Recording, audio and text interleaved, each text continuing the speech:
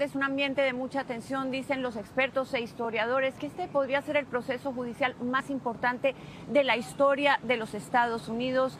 El expresidente Donald Trump ya se está preparando para venir para acá y acaba de publicar en su medio social que viene en camino a Washington por haber retado un sistema amañado y corrupto en su contra, pero dice que es un honor porque lo está haciendo por ustedes, dirigiéndose a sus partidarios. Sabemos que sale en media hora de su club de golf en Bedminster, Nueva Jersey.